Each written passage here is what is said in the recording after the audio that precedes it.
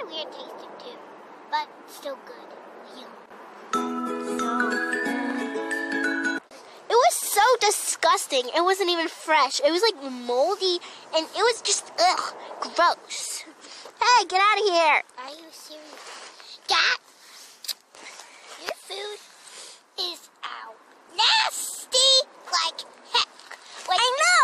I'm saying.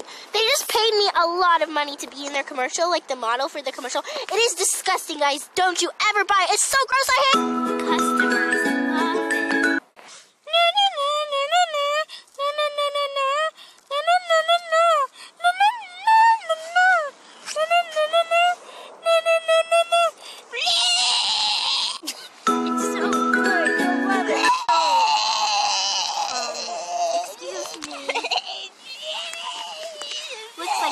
didn't have enough fresh fruit.